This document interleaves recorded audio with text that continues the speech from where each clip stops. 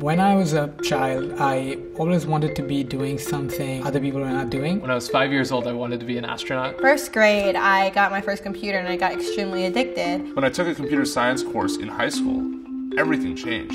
I met with Dr. Yvonne Pendleton when I was in fourth grade. When I was uh, still in middle school, I wanted to do a science fair project. I found myself absolutely obsessed with developing a non-stop writing code and trying to figure things out on my own. So I started learning HTML. I just told her up front, I want to go to UC Berkeley. I want to become an astrophysicist. I spent a lot of time talking with the researchers and I learned about ending aging. She was very excited to see somebody so young interested in astrophysics. I just felt that I, this is what I wanted to do. I wanted to stop cancer. I like solving the problems and I really like seeing people use my product. What I want to focus on over the next two years is how much can I learn? Now I have this opportunity to change the world. And that's my passion today. So that's what I'm doing right now.